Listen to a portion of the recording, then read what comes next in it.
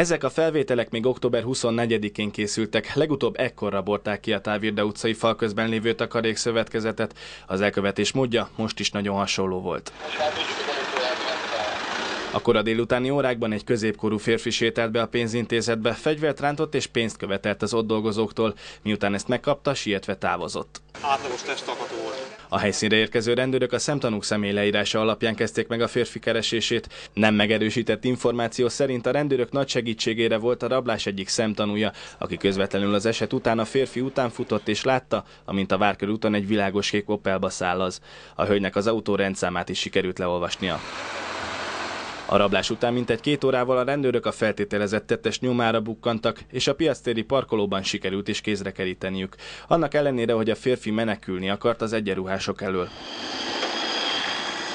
Az elfogást követően a feltételezett tettest a rendőrségre szállították kihallgatásra.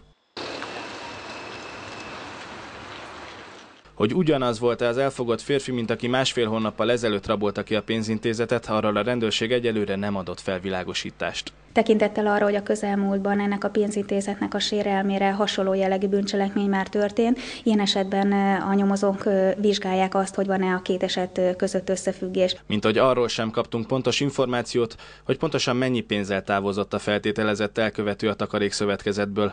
A rendőrség további részleteket kedre ígért.